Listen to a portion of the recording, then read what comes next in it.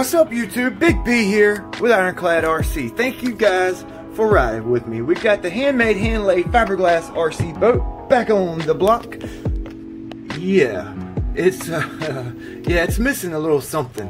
I took the uh, hard shaft out, the straight shaft that we had in this boat previous, we're going to be replacing it with something a little more adjustable. We have an Aquacraft 0.150 flex drive cable with 3 16 inch prop shaft the Teflon liner. We're going to be picking out the stuffing tube, bending the stuffing tube to fit our needs, and epoxying it into the boat. We're going to be using this Pro ProBoat Sonic Wake 36 inch uh, strut, and we're going to be uh, modifying it with a DIY homemade bracket for the back of the boat. Uh, we're going to install the drive dog, collet, grease it up, everything, start to finish, so stick around. Big B here with Ironclad RC. We have here is a .150 liner that fits this .150 flex cable with a 3 16 hard shaft. We have our drive dog, our collet, our strut, and a quarter inch stuffing tube, brass stuffing tube. Now you don't want to use copper stuffing tubes because it's too pliable, it's too bendy. It's not strong enough. You see how easy that was to bend? Now I'm putting the same amount of pressure on this brass tube and it's not bending whatsoever. So I recommend a brass stuffing tube for your uh, RC boat flex cable applications. Now we're using this 3 16 inch strut that came with this really large bracket.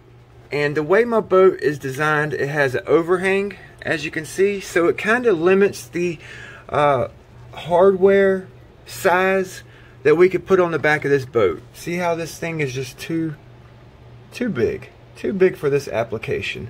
So I made this homemade bracket. I welded the seams here. I made it to fit right over our steering linkage, steering through hole. See how it just kind of goes right up on it? That's about as high as I can get it on this boat. So basically, I'm going to have to drill a larger hole into our strut because the lowest point on this on this boat with the with this bracket it's going to be way too low in the water so I've actually marked some holes See the marks here? Drill this out first so we could kind of do a dry fit. And then we'll start bending the stuffing tube.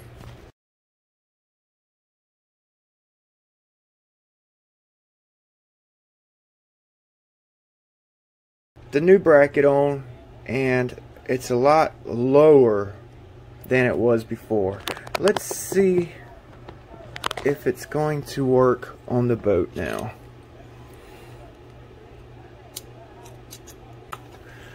Yeah, that's going to be it. That's it right there. That's the height. We've got our strut ready. Now we can start bending the stuffing tube. 0.150 to 5 millimeter collet. Gonna get it tightened down on the flat spot and I want to put this collet where it's going to permanently, basically permanently be, so we can get our cuts right for the stuffing tube. We're going to get this little bend in it, and I'll put this flex cable with the Teflon liner in so you guys can see what I'm talking about. Okay, so see how that slight bend is right here? It's about where we want to put our bend at. I was thinking about running it back toward the back, but it looks like it's going to be right in here is where we need our bend. So we're going to put the stuffing tube back in, grab the marker, and our bend's going to be from here basically to the end of the shaft, right in there. And basically just the slightest of a bend should work for this boat. Not all boats are created equal, so you have to really uh, pay attention to what you're doing here. I like to get a small like punch and put in the end of my tube, especially if I'm bending toward the end here. Uh, up my stuffing tube like so.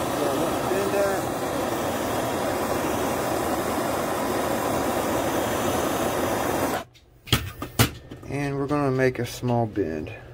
It should only bend where we applied the heat. So see that little bend we got there? Minute, very small.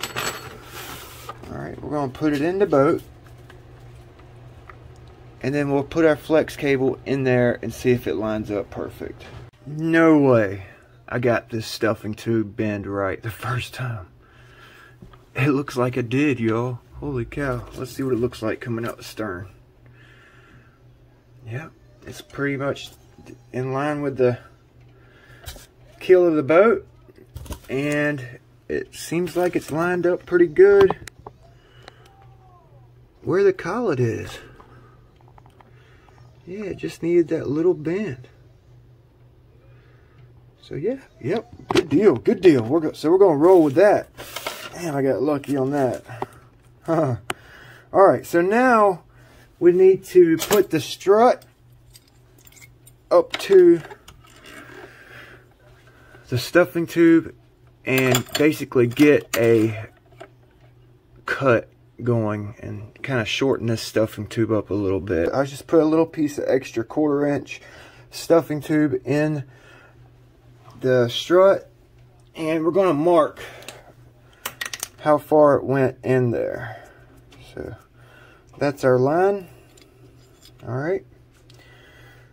And then I'm going to put this up on the boat like we're going to be mounting it. And mark the end of our strut right here. Where the strut actually meets the the stuffing tube. Alright. So it's the little mark. So what I'm going to do is take my little piece of stuffing tube I mark previous, put it up to the little mark. That's how far it's going to go into our strut right here. That's the end of our strut when we have it pushed up to the collet. And now we're going to mark it there and we need to take and cut this piece here off. I'm just going to leave it just a hair long.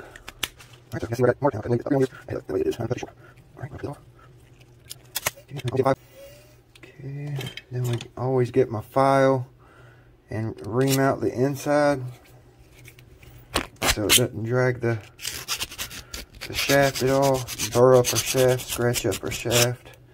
Strut's gonna go into it. Now let's put the strut and the stuffing tube in its place. And let's see if we got our mark right. Our cut right. Alright. So yeah, we got our cut right. The bracket's off the transom about three, about three millimeters. You guys see that? And the way I designed this bracket, it's I like to do testing as you all know. So I designed the bracket so that I can start off with my propeller way back here, surface drive. Uh, if I don't like the way the boat performs, I can cut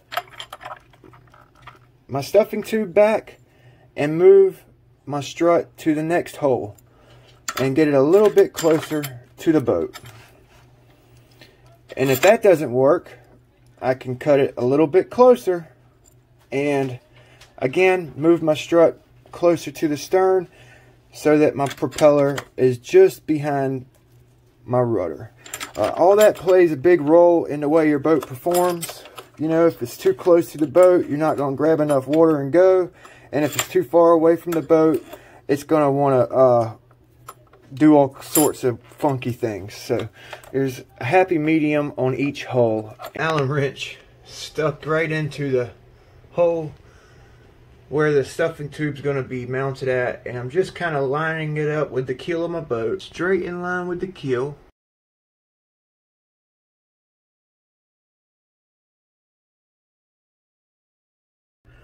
It's just some like quick, fast, five minute epoxy. I got some coffee stirring sticks to mix it up with. And like I said, I like to use this five minute epoxy only on my initial setup of the stuffing tube. I, I really don't like uh, leaving my stuffing tube unattended for 24 hours waiting for it to dry. You know, it can get bumped or moved. Uh, you know, just the littlest, smallest offset in your stuffing tube will cause all kinds of aggravation later on. So I like to get this set up as quickly as possible. And then we'll pour our 24 hour slow cure epoxy in the in the back where it goes through the transom. So we're gonna pour this right right in the middle of the stuffing tube here.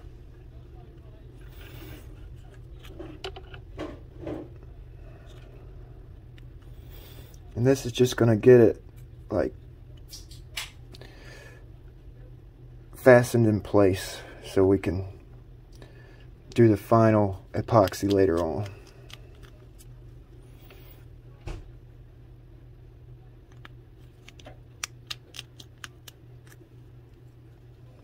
All right. Got you guys a different position here. This is the position that you're really going to be using the most when you're when you're getting this all set up and lined up correctly with your keel. So you want to look down to keel your boat. Make sure your your stuffing tubes directly in line. This is the last time, your last chance to, to fix any imperfections in the system uh, before everything kicks off. So you want to make sure this is done right. So I'm going to try to work fast here because this is five minute epoxy. And uh, so just kind of bear with me. So I got shims on both sides of the stuffing too. I'm to check my alignment on the bottom of the boat. Then I'm to come in here, check the alignment where it meets up to the collet. You want a little gap there, but not much, maybe four or five millimeter five millimeters at the most. I'm going to run about two or three. If you if you have a real big gap right here, then your uh, flex cable will spin up and kink, or you'll break it where it rubs up against the end of your stuffing tube. So uh, I do all my alignment with the flex cable in the collet itself. Make sure you got it in there locked in. I think I got it here, you guys. I'm pretty sure I got this lined up. Like I said, just take your time. It can be deceiving at times. Check your work. Check it twice. Let it cure up. Maybe mid-cure. Come back. Look at it. Make sure it's all, all in the same spot. So I got some 24-hour epoxy in this cup. Gonna mix it up. All the little empty spots. We want a nice, tight, uh, waterproof bond.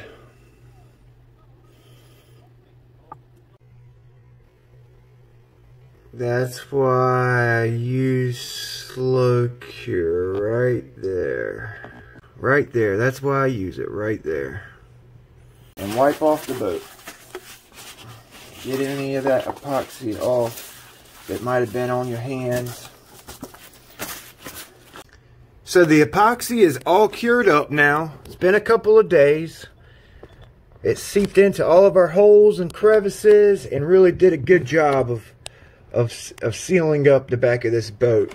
Uh, I've got the strut on the stuffing tube here. Just kind of wanted to kind of just get an idea what I needed to do next. Uh, let's see if it's butted up to the hull itself back here.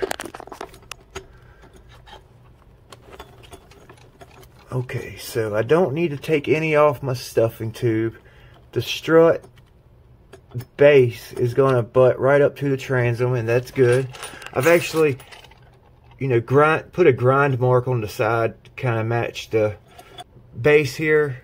Just kind of dressed it up a little bit. Uh, we're going to put this flex cable in.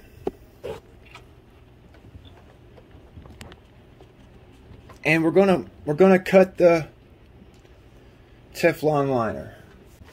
Basically, the Teflon liner is gonna butt right up into our strut here, and it's gonna go all the way up to the collet. So I'm gonna cut it just a little bit longer.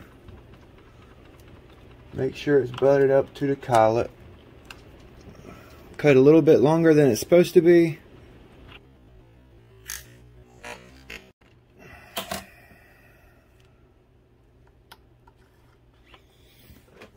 Teflon liners cut. What I do is cut our shaft to length and install the strut.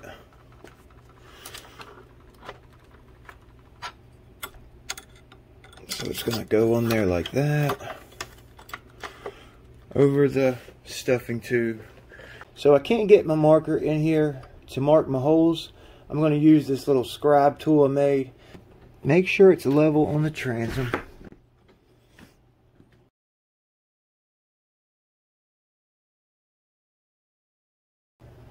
So we got our marks here. We're going to drill out the holes.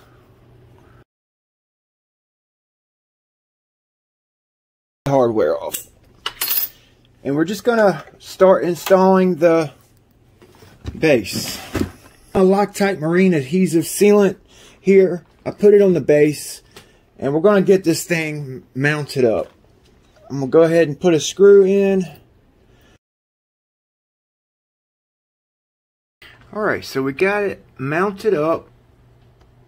Both of the screws are in, backed up by washers and nuts.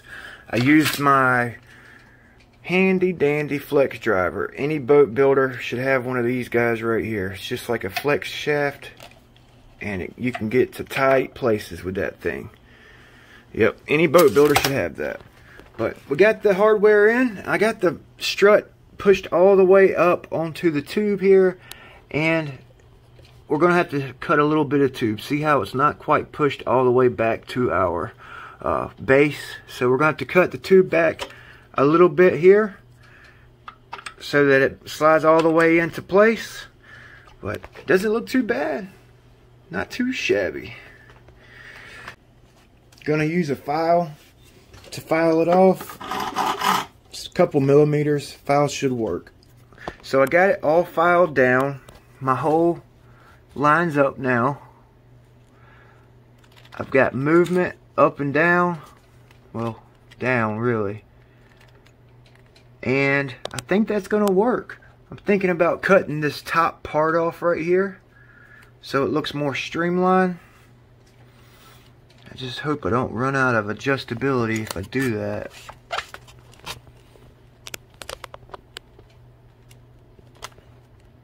Yeah, that should be good. That should be good. We've got everything installed. We're going to push our flex cable all the way up into the collet. Uh, we've got a, our adjustable ruler here, and we're just going to put it on our shaft and see where we need to cut this flex cable. So we got to go all the way to the drive dog, where the drive dog will be at, which is here. Keep in mind you need to leave three millimeters or so in between your strut and your drive dog, uh, you have to leave three millimeters because of the cable. When you when it spins up and from the torque, it tightens up the winds on your cable so that it kind of shrinks the tube, shortens the tube up when it's uh, a lot of pressure is being put on it. So you've got to leave that little gap. Keep that in mind. And I'm just going to go all the way to where my drive dog goes, which is right there. I've got it marked. And then we're going to take the cable out of the boat, go to the other end of the cable, put your cable on your ruler like so, and mark your spot at the end with a marker. So we're going to put it on the adjustable ruler and mark right there at the very at the very end. So that's where we'll make our cut at right there. Alright, so the way I cut my flex cables with this cutoff tool. Alright, now we're going to grind a little bevel in the end of our cable. my workstation out here. Boats everywhere. put it on the bench grinder, and just kind of grind a, a little bevel on the end of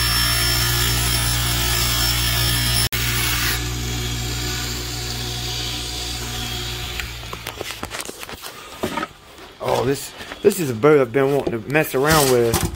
This is one I built. It actually blew up on me. I was running a brushed motor in it, and I cleaned out the brushed motor with brake cleaner, put the hatch on it, and took it to the pond. Threw it in the water, pulled the trigger, and boom! Like a little bomb, blew up, and my boat sank to the bottom. It blew a hole in the in the keel here, and it blew off this side right here. Big seam. It blew up because of the brake fluid. The brake cleaner uh, fumes was in there, and I closed it up. Oh my god, it was like a little bomb. That shit was funny. So now I was thinking about making like a little blow boat out of it. The, you know, the top of it's flat, and I could put, you know, an old brushless motor. It's got a bent shaft, so it would be perfect for a little blowboat, brushless. Yeah, I might do that. The addiction is real. It's raining. oh shit. The things we do. Fingers crossed. So we've got the drive dog about three or four millimeters from the strut itself. That is perfect. So we're going to leave it there. So I'm filing down this uh, keyway here, this flat spot for our grub screw. It's a little bit too small. So our little flat spot's big enough to accommodate the grub screw. We're going to go ahead and put the hardware, the screws and washers into the strut itself. Now all we got left to do is just, you know, put some batteries in here and spool the motor up and just kind of test it. Make sure there's no heat in our system. Make sure everything's lined up, sounds sounds right, and is running correct before we take it out to the lake. All right. Boom. Let's see if it's lined up with the with the boat. Oh yes. Oh yeah. Oh yeah. Oh yeah. That's that's good. That's the money. I just tightened up the collet here. I made sure all my grub screws were tight on the collet and the drive dog. And we're just going to get this uh, hooked up so we can do a, a dry run here. A bench, bench test.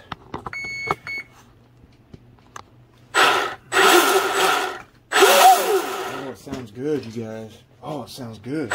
Still got to put some grease in here. I was just doing a dry run.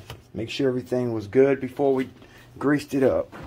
Alright, so let's listen to it now with no grease in our strut whatsoever. Just the Teflon liner uh, going through the system. Let's listen to what, what it sounds like with no grease.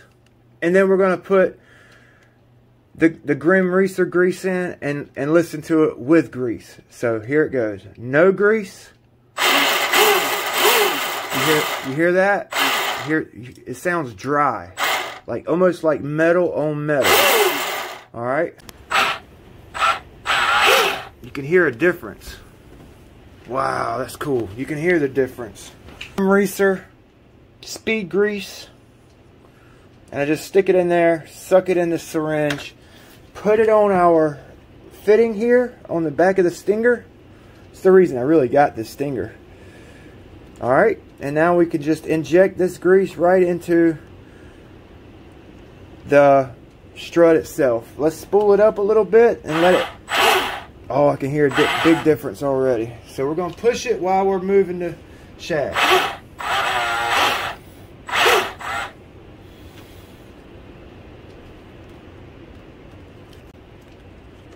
Gonna get some more grease.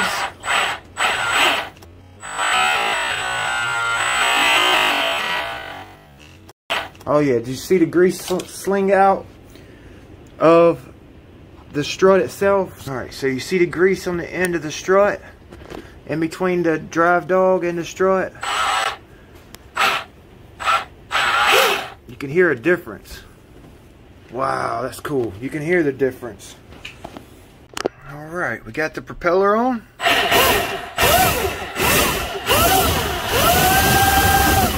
Oh, that sounds good.